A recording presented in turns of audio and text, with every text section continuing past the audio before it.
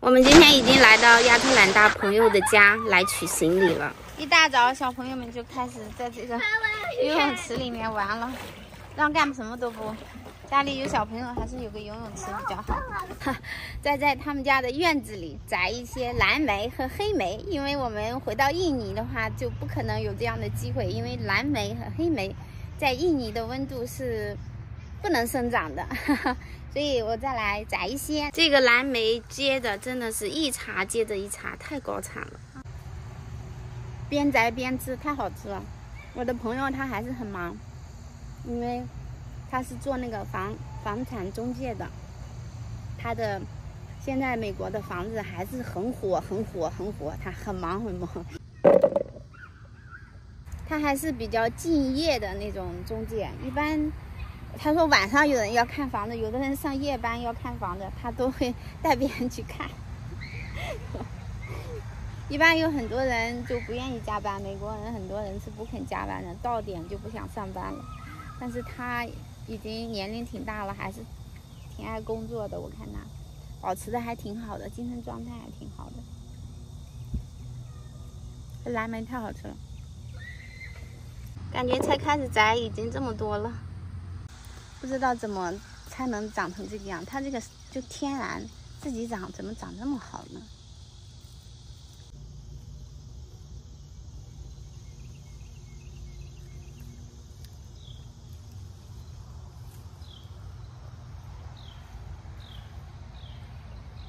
边摘边吃，好好吃。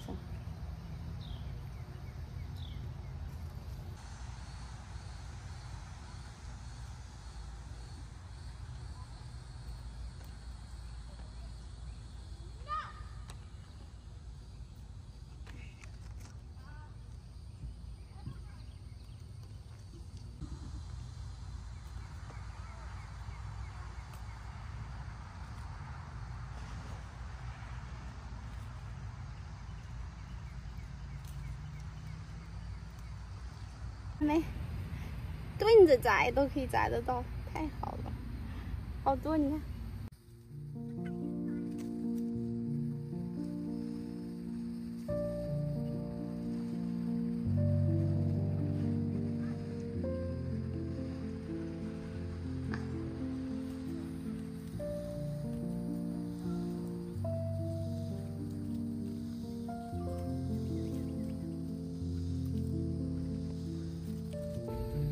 这蓝莓才好吃呢，它超市里的那个蓝莓一下就给比没了。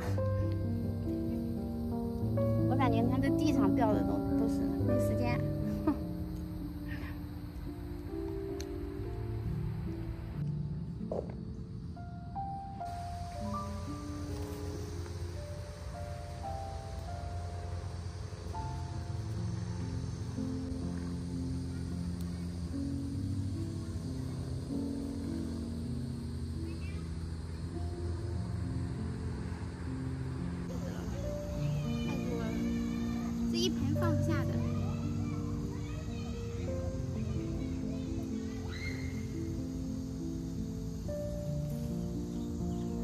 看一会儿我摘了多少。看，这个盆还不小呢，摘了这么多。我们要去再摘一点黑莓，因为它这里还有很多野生的黑莓。有个这么大的地也好，就是打理起来有点累。但是在这早上啊，我早上在这里。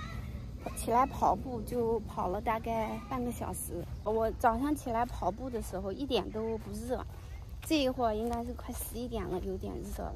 早晚好凉快，好凉快。去年啊，去年的时候，他们家种了好多好多好多蔬菜。今年没有时间，工作太忙了。房子市场怎么这么火？不由得再次的感叹。这个利房那个贷款贷款的利息很贵，现在都到七点几了，房子还在涨价，这些人都疯了吗？啊，这个是正经的野生黑莓，啊，一大片，很多。啊，有一个男孩子晚上他也会过来吃饭，他们他会把这个黑莓摘了做酒，蓝莓也是做酿成酒。呃野生的黑莓就是小一些，估计大家也不爱弄。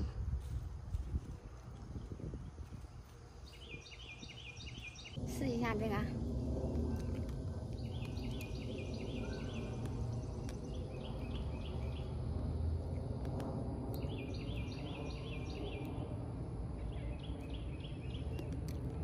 感觉不错。